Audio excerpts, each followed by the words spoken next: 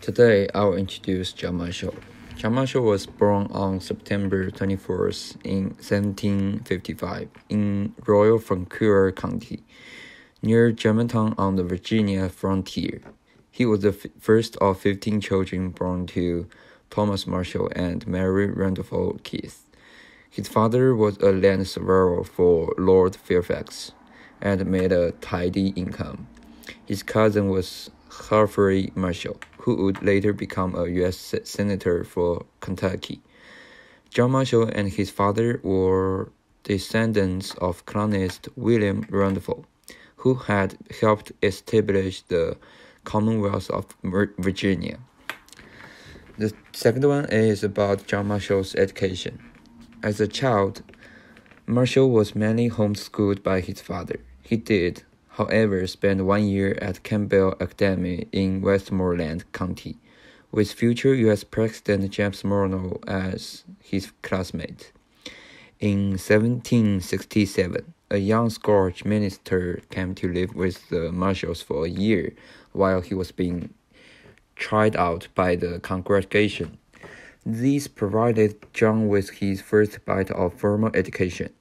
In 1772, he received his second time of formal education at the Academy of Reverend Archibald Campbell.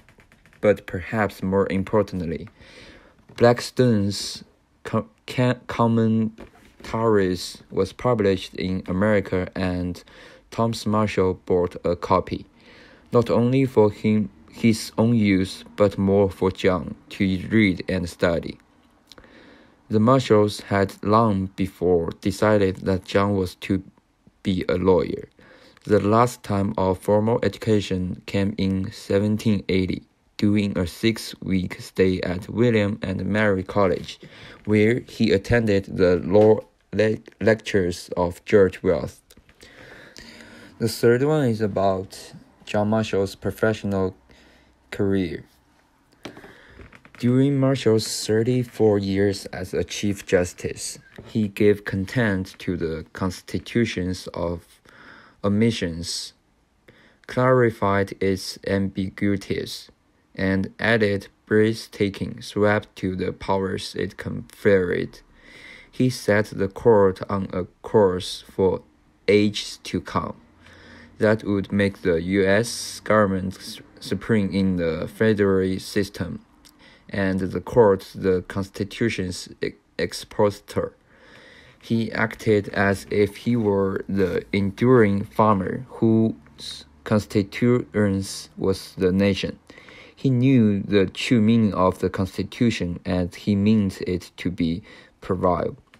He made his position a judicial pulpit to foster the union of his dreams and to compete, if possible, with the politic, political branches in the shaping public opinion and the national public policy.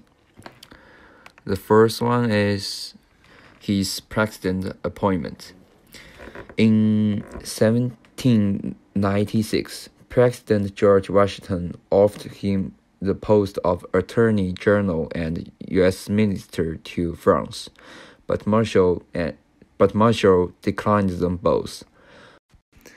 Marshall began his diplomatic career as one of the three envoys appointed by President Adams to negotiate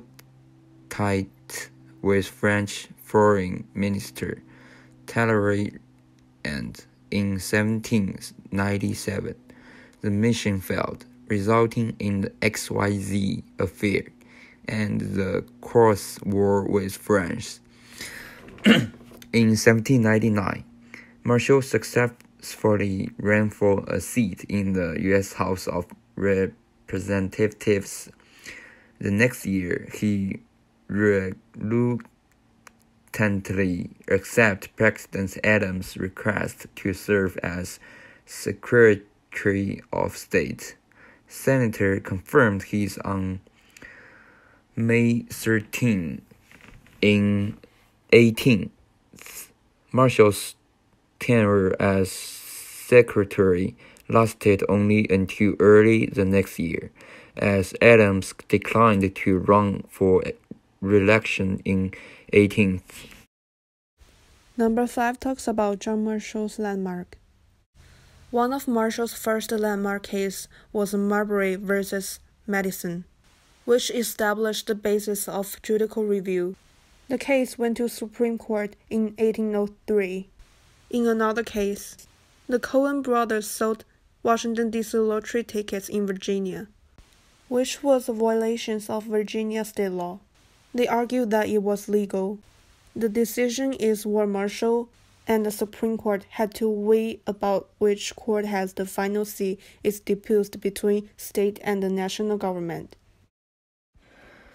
The sixth one is about John Marshall's interesting facts.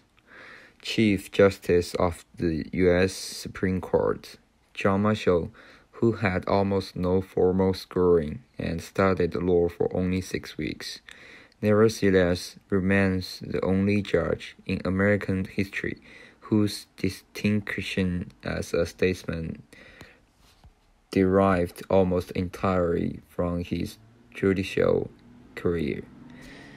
The seventh one is about his death. John Marshall proudly served on the Supreme Court until his death on July 6, 1835, at age 79, in Philadelphia, Pennsylvania. The Liberty Bell was rung during his funeral procession. Legend says that this was when the bell cracked, never to be rung again. Although the newspapers never reported that the event and it has never been verified. The Supreme Court of New York Times versus United States.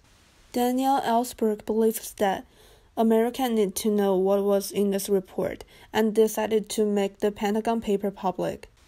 Ellsberg copied more than 7,000 pages of documents that revealed the history of government's actions in the Vietnam War. In 1971, the decision by New York Times and the Washington Post to print illegal leaked clarified documents about American involvement in the Vietnam War sparked a First Amendment battle between the highest level of government and two of the most respected newspapers in the country.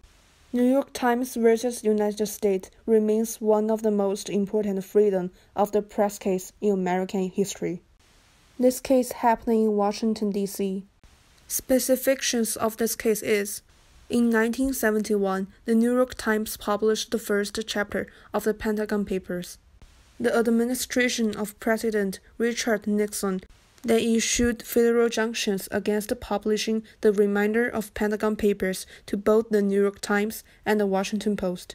The federal government argued that the publication of the top secret history would imperil national security. President Nixon's administration did violate the First Amendment. In a 6 to 3 decision, the court ruled that US government had not met the heavy burden of showing justifications for the enforcement of prior restraint. Because of President Nixon's violation, this case became Supreme Court of News Media versus United States. The court ordered the immediate end of the injunctions against the publication. The court offered two explanations for its ruling. First, both the history and language of the First Amendment support the view that the press must be left free to publish news, whatever the source, without censorship, injunctions, or prior restraints. Second, that the publication of a history of U.S. action in Vietnam would not endanger current military personnel by revealing their locations or movements. The case reached the Supreme Court in June 1971.